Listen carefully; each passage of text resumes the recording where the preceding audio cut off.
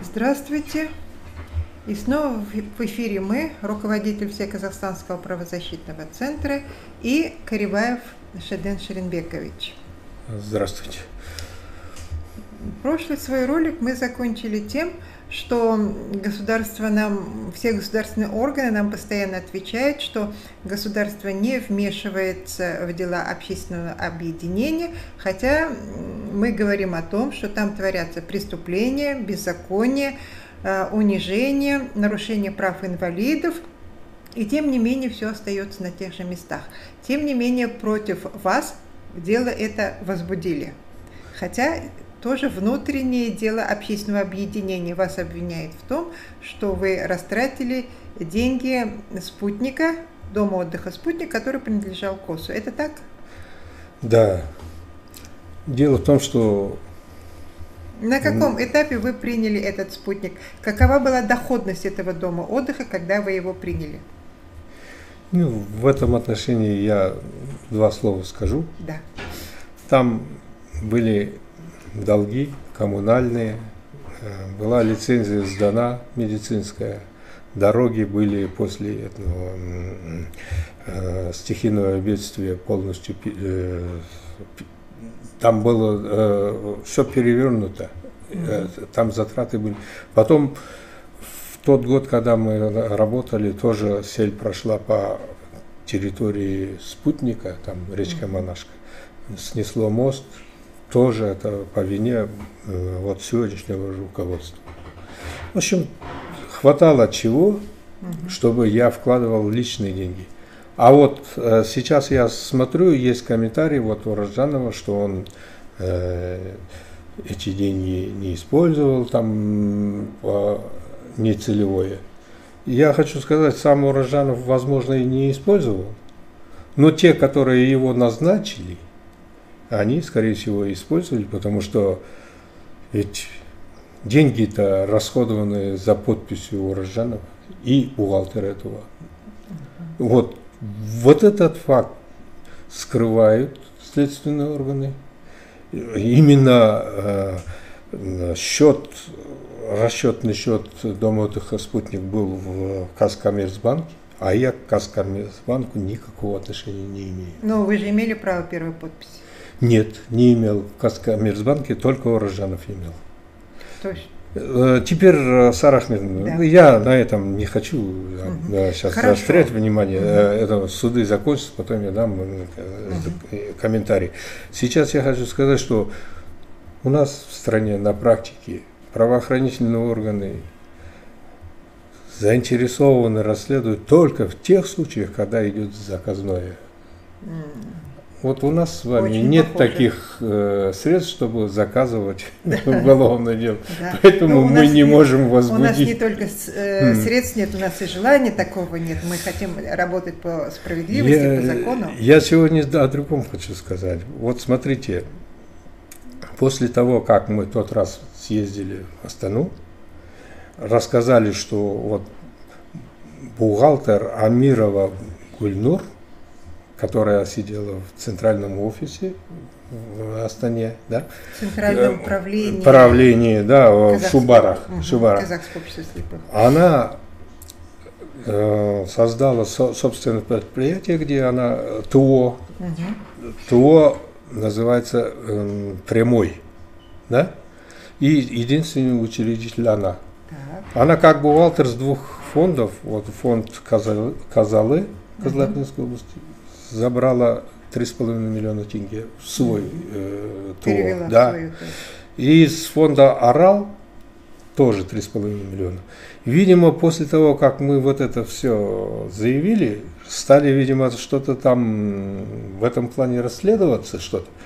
И вот этот бухгалтер сегодня вернула фонду «Оралу», по Козылинску у меня нет информации, фонду «Оралу» эти все деньги. Да, хорошо. Но с фонда КОСа опять уже э, полтора миллиона забрала. То есть опять эти деньги ушли в центральный банк? Да, дело в том, что, э, смотрите, фонд это же фонд, там должен распоряжаться сам президент. Да. А при чем здесь казахское общество слепых? На каком праве она сто, э, полтора миллиона забирает? Она не имеет этого права. Это прямое хищение. Ну понимаете? да, конечно. И что вот о таких хищениях мы говорим, и наши правоохранительные органы, я почему и говорю, что у нас с вами нет денег заказать уголовное дело, а тут хоть миллиардов и воруй, никто Мгм, ничего мгм. не расследует. Вот еще один момент хотел бы сказать. Руководство казахского общества слепых занимается незаконной банковской деятельностью. Что имеете в виду? Вот если в семнадцатом году, когда На- Наурзбаев приступил к э, своему руководству КОС, Мгм. тогда в госзакупках через наши организации под субподрядчиками выступали э, бизнесмены. Минуточку. По закону о госзакупках э, инвалидные организации не могут иметь по- субподрядчика. Нет, ну, то какой-то там процент небольшой допускается, ну, а они полностью. Теперь смотрите, там же госзакупки есть и на 100 миллионов, Да, и есть да. на 200, на 300 Да, миллионов, да? Очень большие суммы есть. Ну, вот эти деньги у организации не было, поэтому с деньгами, с субподрядчиком выступали эти бизнесмены, да? На сегодняшний день, когда вот руководство КОС всю, всю аренду забрало в КОС, Так. и вот этот... э, На местах нет денег, получается? Да, оно никаких? концентрируется вот ассоциации юрлиц НУР, Мгм. где опять директор Букенбаев наш знаменитый. Да, печально. И э, вот эти все деньги даются вот уже вместо тех бизнесменов, которые участвовали. Теперь руководство КОС дает своим организациям деньги. Вот, к примеру, 100 миллионов стоит. Дают какому-то Да? корпоративному Да, фонду или предприятию. или предприятию. Да? И э, получается, исполняют госзаказ. э, да, госзаказ и возвращает эти 100 миллионов. Так, ну Да? никаких нарушений. Здесь нет нарушений, конечно. Но я знаю, среди участников этих госзакупок, ну, руководителей этих предприятий и э, фондов, лично от них знаю разговор так- такой, что они эти деньги возвращают, сколько дали, столько вернули, и 20% от этой суммы руководству передают уже э, нелегально. То есть не на расчетный счет косы идет? Конечно, не на расчет. Ага, ну это очень интересный вопрос. как Я так Конечно, этот факт доказывать э, и говорить это как э, доказанный факт невозможно. Но на это и наши правоохранительные органы пусть проверят эту информацию. Да. Ведь, ведь получается, смотрите, если э, 20% от 100 миллионов это 20 миллионов, да? Да, хорошая. А вот за все время, вот мы говорим, с 81 миллиард. С 81 миллиарда госзакупок э, 20% это будет 16 да, но если миллиардов. только корпоративных фондов 57, и еще есть учебно-производственные предприятия, которые тоже участвуют в госзакупках, но очень симпатичная сумма получается. Вот от 80 ми- миллиардов 16 миллиардов это 20%. Вот незаконная банковская деятельность. М. Просто все деньги сосредоточены в одном месте и занимаются незаконной банковской деятельностью. Кроме того, сейчас есть где-то тоже я утверждать всю сумму, что именно такая не могу, ну, 900 миллионов тенге, которые э, в нескольких банках Казахстана положены на э, депозит. Так. А вот интересно, с этого депозита проценты кому идут? Но собственнику этого счета, естественно. Я далеко сомневаюсь в этом. Вот эти деньги тоже надо проверить. Почему они э, на депозите, почему они не работают? Вот предприятия, у них не хватает оборотных средств, Да. да? да. А в это время деньги КОС лежат на депозите. Мгм. И еще идет процент, неизвестно кому этот процент идет с депозита. Вот такие вещи происходят у нас.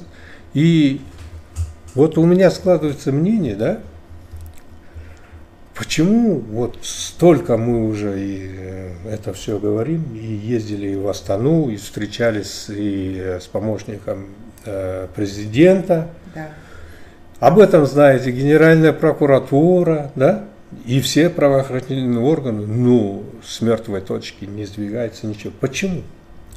Потому что вот эти все миллиарды дают возможность иметь хорошую крышу. И эта крыша настолько непротекаемая, что не дает ходу всем этим проверкам. Ну, наверное, это единственное объяснение. Вот, вот такая ситуация. Угу. И, И вот напоследок хочу сказать, вот сейчас вот, последний раз мы говорили, как конференции проходят. Угу. На 5 э, октября намечен съезд. Угу. У нашего руководителя 138 миллионов долларов.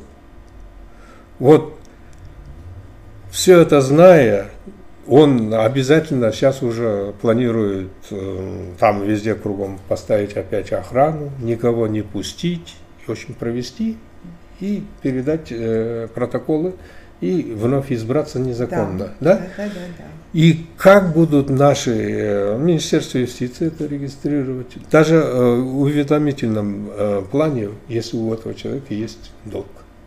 Он э, э, заново э, регистрировать, ой, э, вводить его данные не имеет права юстиции. Ну так один раз его уже зарегистрировали, в качестве первого руководителя, и на тот момент у него уже был долг в эти, в эти же 138. Нет, Сара Ахмедовна, дело в другом. И сейчас точно Вот согласно статье 14 пункт 2 да, э, закона о госрегистрации, уведомительный характер тоже носит, э, и э, если есть такие-то, такие-то моменты, то э, ее э, отказать в реги... э, да. именно в изменении да, руководства изменения должны отказать. отказать при наличии определенных условий. И одним из таких А если является... сейчас вот она к тому идет, да. если это произойдет и юстиция опять это все в уведомительном порядке изменения внесет, ну, значит, у нас просто в нашем государстве просто правоохранительные органы и вообще все органы государства работают только на олигархов, таких как наши олигархи. Да, хотя статья есть о том, что государство осуществляет контроль за деятельностью общественных организаций. И давайте мы сейчас обратимся к правоохранительным органам, э, к помощнику президента, к самому президенту, да, к министрам, в течение четырех лет Шадинки Шерембекович сигналит о том, что а, в общественном объединении КОС про, происходит правонарушение, происходит преступление, происходит хищение, в том числе и государственных денег. И нарушаются права инвалидов, и никак он не может ни до кого достучаться. А вот смотрите, мы давайте мы по, по, по этой логике, вот два, два слова еще если государство не вмешивается в дела общественного объединения. Вот вдруг произойдет там драка, там охранников выставили, часть людей захочет участвовать, произойдет драка, и вдруг кто-то кого-то даже и убьет. В этом случае тоже не будет государство вмешиваться. Но помните уголовное дело против Бердыева, когда он избил другого инвалида? Ну, значит, оно вмешивается все же? Конечно, конечно. И поэтому отговорки, отписки всех даже на уровне помощника президента, это просто это, отписки, да. отговорки. Ну, печально сознавать, но получается, что государство прикрывает эти да? преступления. Очень печально это осознавать. И мы надеемся, что ситуация все-таки изменится, мы достучимся, все-таки нас услышат. Как э, говорит наш президент, мы теперь слышащие Сара государство. вот после вот этой передачи, да, ну, в нашем пост-Казахстане, может быть, свою ситуацию будем разъяснять, но обращение э, к руководству страны уже мы уже дальше не можем, мы будем уже обращаться только в международные организации. Так, ну, наверное, остается это. Ну что ж, давайте на этой ноте закончим. Mm. И мы обещаем вам еще очень веселые очень интересные моменты из жизни казахского общества слепых. Следите за нашими роликами. До свидания.